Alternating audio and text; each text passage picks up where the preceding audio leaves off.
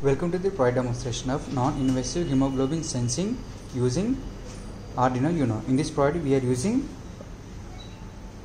Arduino Uno board, 16 by 2 LCD display and the hemoglobin sensor.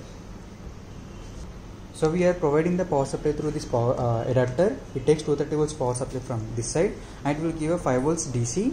So that 5 volts DC will be given to this Arduino board. Using this Arduino board, this equally divide the 5 volts power supply to the 16 by 2 LCD display and the hemoglobin sensor. So the, because these sensors and Arduino Uno board will be works on the 5 volts power supply. So that's why we are providing the 5 volts DC power supply for this project.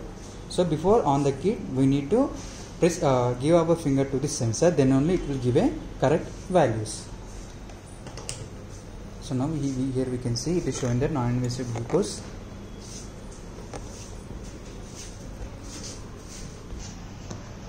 so now we can see.